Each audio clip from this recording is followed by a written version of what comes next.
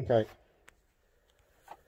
Okay, so today we're doing a, uh, loft clearance of all the insulation and we're also going to be treating it all with biocide to get rid of any scent trails and things like that which could attract uh, rats back in in the future.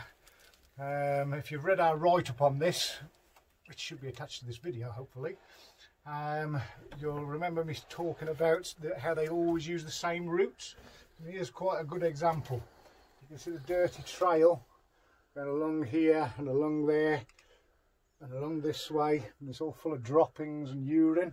And every time they go down a route they'll leave these trails with the urine smell so they can find them in the pitch black. Because obviously without the light up here it's absolute pitch black in here. But to a rat that's not a problem.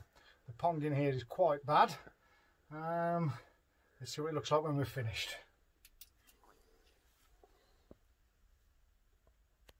there's a bit of a pond around here to say the least so let's have a look Trying to get the other side up, Rick. Ah, there it is.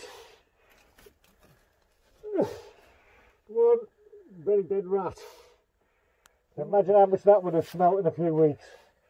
Oh my god. And then it would have putrefied. All the maggots would have eaten it. You'd have had flies. And then the putrefied blood would start coming through all your plasterboard. So we'll get rid of that one as well then. Lovely job this, isn't it? Okay, you might remember as well, I was talking about what we call latrine points, where basically all the rats and their friends all go and do their poos in one special place. So sometimes there won't be any droppings anywhere for you to see because they'll all be hidden away.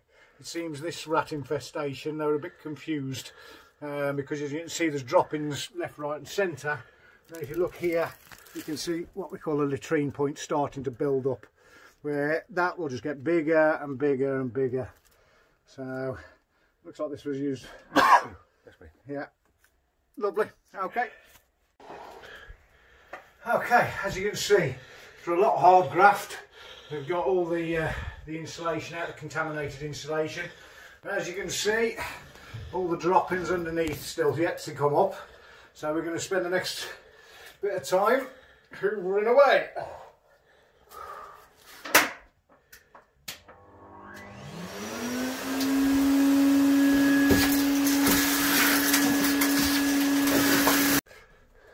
Okay, so as you can see, absolutely immaculate now. No more droppings, all the insulation's gone, all the dust has gone.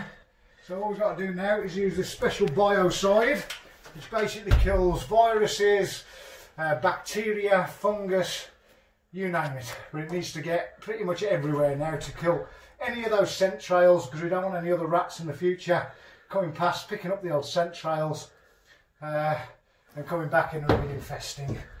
So very important you get it everywhere. Use the proper tools.